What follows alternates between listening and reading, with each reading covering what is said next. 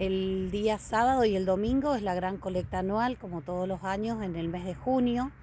Eh, bueno, nosotros vamos a convocarnos en el reloj a partir de las 10 y media de la mañana, junto con las voluntarias y voluntarios de Cáritas, y desde ahí vamos a salir a los distintos lugares y puestos con las urnas. Em, así que bueno, les pedimos a todos, los esperamos para que colaboren. Eh, esta colecta es en dinero en efectivo, pero nosotros para nuestra Cáritas aceptamos todo lo que es ropa, calzado, alimentos. Así que bueno, los esperamos a todos.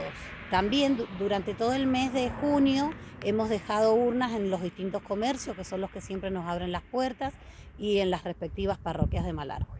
Soledad, ¿con qué se encontraron ustedes el año pasado con la colecta?